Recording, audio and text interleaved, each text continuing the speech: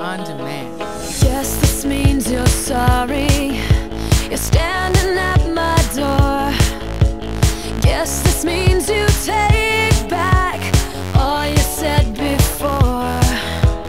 Like how much you wanted anyone but me. Said you never.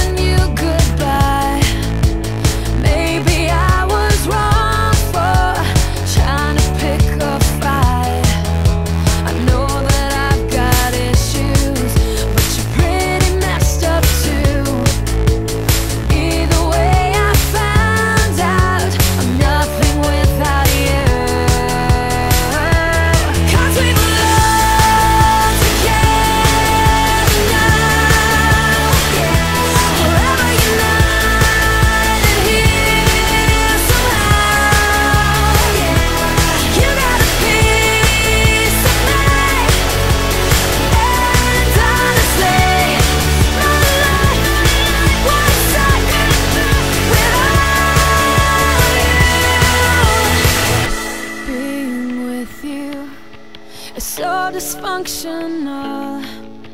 I really shouldn't miss you, but I can't let you go. Music on demand.